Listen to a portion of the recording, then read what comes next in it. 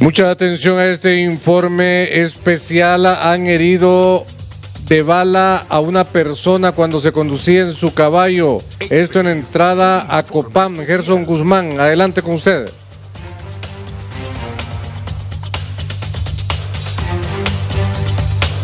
Buenas tardes. Este tardes, es un informe especial.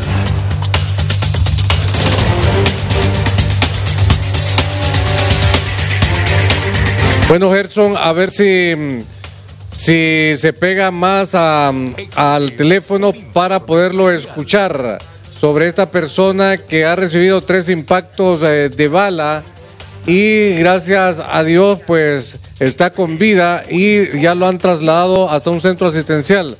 Nuevamente con usted, Gerson Guzmán. De un vehículo le dispararon en repetidas ocasiones, logrando causarle eh, tres heridas, eh, dos en el abdomen y caso.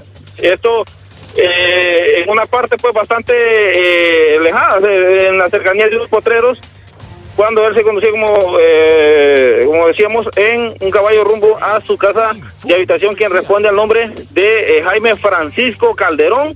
Repetimos el nombre, Jaime Francisco Calderón, de 35 años, originario del barrio El Dorado, la ciudad de Entre Copán, y residente en la comunidad de Santa Luz de Marcadia Copán. Él fue eh, am, auxiliado pues por vecinos del lugar, quienes lo trasladaron a bordo de un vehículo hasta las instalaciones de Cruz Roja en la ciudad de la Entrada Copán, en donde fue eh, atendido, estabilizado y luego fue trasladado a bordo de una ambulancia eh, hacia el Hospital Regional de Occidente. Él se encuentra estable y esperamos pues que eh, se recupere en su totalidad de este percance. Esto es lo que podemos informar a esta hora de la tarde desde la ciudad de la Entrada Copán.